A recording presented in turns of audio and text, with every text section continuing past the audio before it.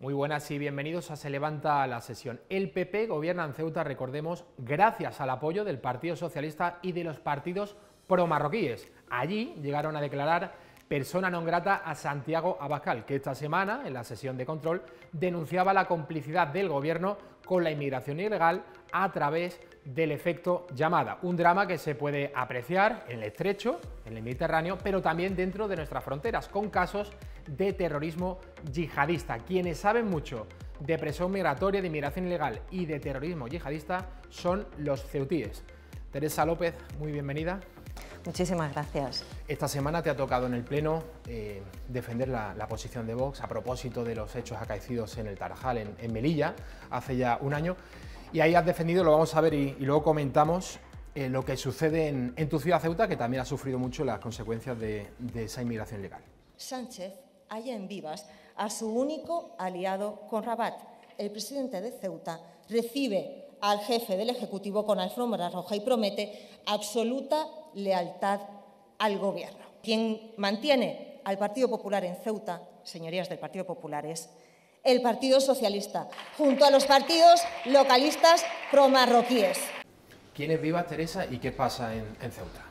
Bueno, Juan Vievas es el, presidente del Partido Popular en Ceuta y lleva eh, ejerciendo como presidente de la ciudad autónoma más de 20 años, con un presupuesto de 400 millones de euros, similar al que tiene una ciudad como, Málaga, eh, destinado a, subvencionar eh, toda serie de chiringuitos, como dice nuestro portavoz, se lo dice en los plenos al Partido Popular, y, ayudas sociales, porque al final tenemos una ciudad en la que eh, eh, se ha importado muchísima población marroquí eh, que establece su cultura y que ha llevado a suplantar la cultura marroquí por la identidad española y occidental de Ceuta.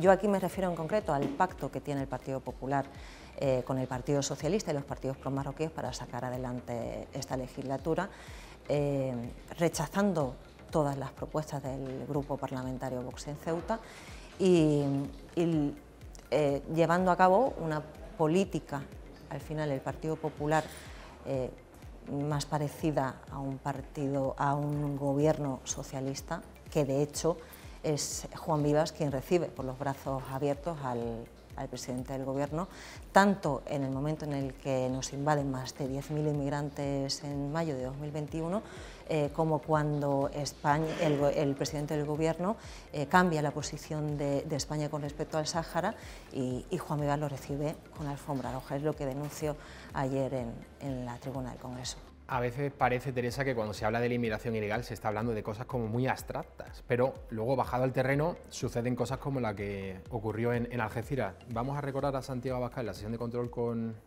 con Pedro Sánchez. Ustedes patrocinan la inmigración ilegal con un sistema perverso de efecto llamada a través de las ayudas sociales, de complicidad del Gobierno con las ONGs que colaboran con el tráfico de personas, de desprotección de nuestras fronteras y de órdenes de expulsión que acaban amontonadas a miles en un cajón. Diego Valencia seguiría vivo tranquilamente viviendo en Algeciras si ustedes hubiesen cumplido con su obligación de expulsar a quien le asesinó. Eran los responsables de protegernos y se han convertido en los culpables. No queremos ser alarmistas ni pesimistas, pero ¿cuántos casos podría haber en Ceuta o en Melilla? Eh, pues muchísimos, de hecho, eh, somos el foco, según las fuerzas y cuerpos de seguridad del Estado, del terrorismo yihadista, Cataluña, Ceuta y Melilla. Santiago, eh, nuestro presidente, lo, resume perfectamente en esa intervención y, y por desgracia, tenemos el, atentado en Algeciras muy reciente, pero es que las fuerzas y cuerpos de seguridad del Estado ya están alertando de que eh, eh, puede haber muchísimos eh, yihadistas en la misma situación en la que estaba el, el yihadista detenido en Algeciras y que, han denunciado que no hay personal ni tienen medios para poder llegar a todos. ¿Por qué? Porque cuando tú tienes eh, una política de puertas abiertas en la que no tienes ningún tipo de control, eh, las fuerzas y cuerpos de seguridad del Estado están desbordadas y no pueden llegar a todos los casos que pueden haber de, terroristas yihadistas en España. Eh, parece increíble, si atendiésemos a lo que sucede en esos plenos de la Asamblea de Ceuta, pareciera más peligroso Santiago Abascal, que fue declarado persona non grata, que los propios ilegales o, los yihadistas. Recordemos ese momento Fátima Ahmed, portavoz de uno de estos partidos pro-marroquíes. Los 25 concejales que están hoy aquí, que levanten la mano y que voten a favor de declarar non grato al señor Abascal Conde. ¿A quién se le ocurrió esto? ¿Y quiénes votaron a favor? ¿Quiénes abstuvieron? Eh, ¿Por culpa de quién salió esto adelante, Teresa? Por favor, bueno, la, propuesta la lleva Fátima Ahmed, del Movimiento por la Dignidad y la Justicia, y eh, sale adelante gracias a la abstención del Partido Popular. Ellos defienden que eh, Vox tiene un discurso incendiario después de la invasión a Ceuta, que es cuando Santiago Abascal viene a Ceuta a apoyar a los cerca de 12.000 ceutíes que lo apoyaron para que fuera presidente del gobierno en las elecciones de, mayo, de noviembre de 2019 y, es el Partido Popular el que siente miedo. Eh, ¿Por qué? Porque le en aquel momento le arrebatamos el escaño del Congreso y, uno de los senadores.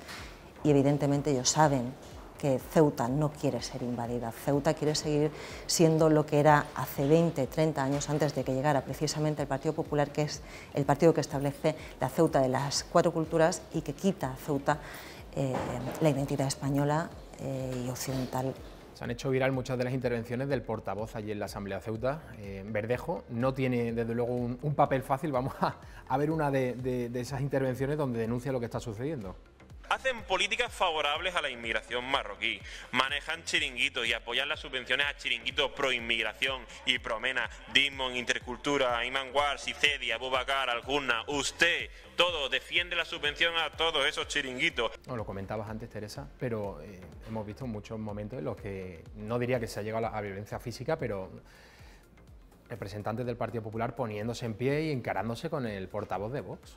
Efectivamente, así han llegado a ser incluso amenazados por, algunos diputados y, es lamentable que el Partido Popular eh, tenga esa vara de medir tan injusta a la hora de eh, llamarla al orden a uno u otro diputado, porque siempre es el diputado del Vox el que parece que, que está incendiando el Pleno cuando son los demás realmente lo que lo hacen. Y, es, y en esa intervención, eh, Carlos, nuestro portavoz en Ceuta, eh, hace una relación de todas las subvenciones que se dan.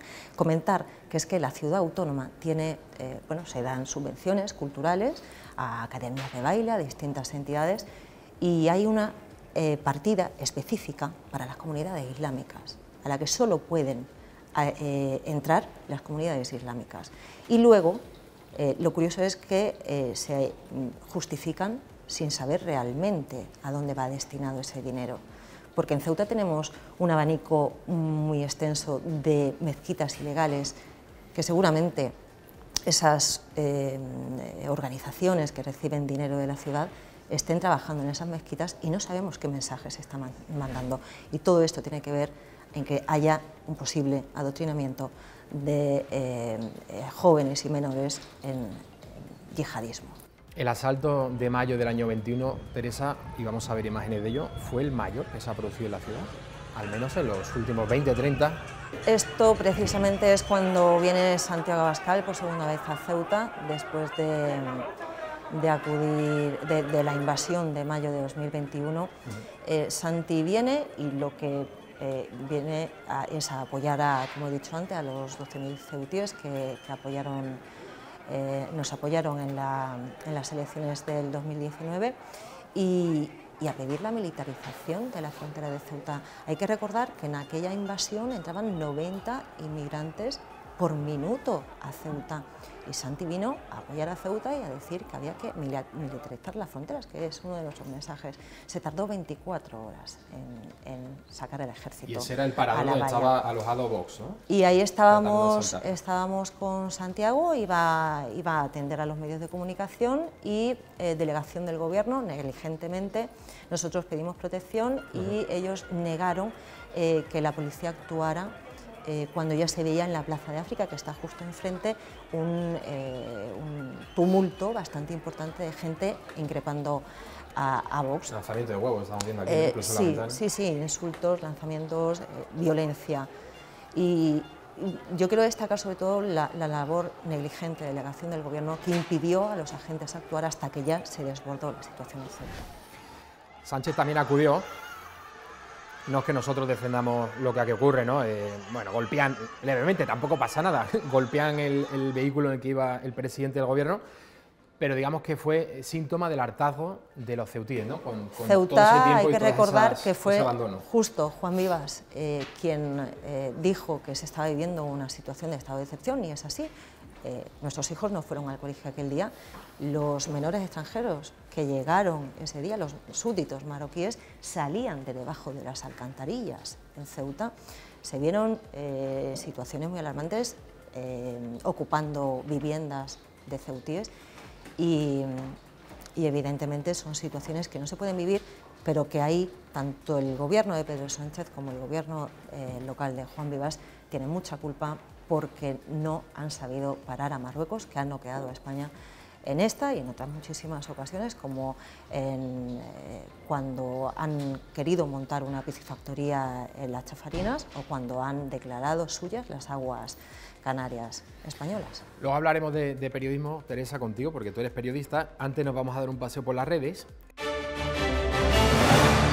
Que una empresa española de investigación audiovisual ha analizado el tiempo que los diferentes líderes políticos aparecen en pantalla. Ya sé lo que me vas, a, decir, ya sé lo que me vas no a decir. No te lo vas a creer. Sánchez el primero, bueno, es el presidente del gobierno.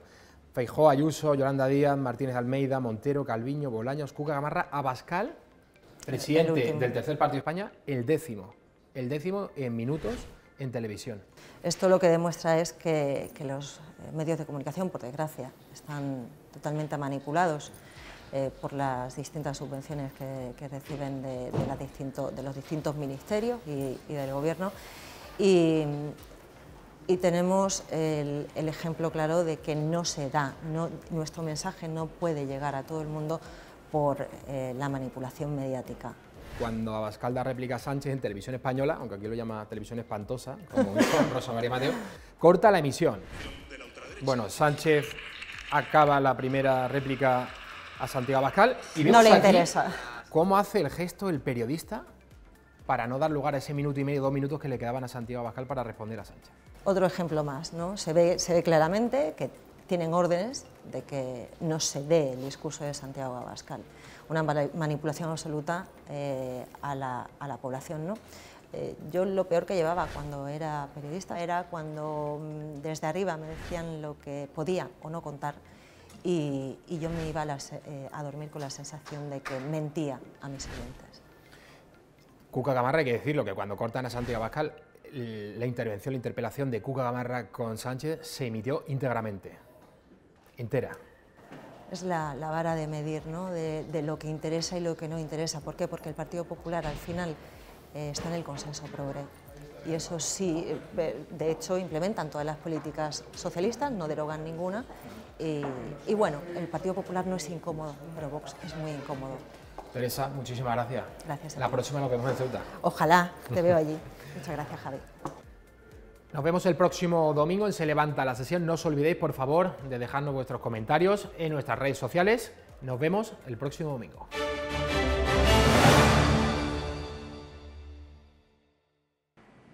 Un saludo para Se Levanta la Sesión.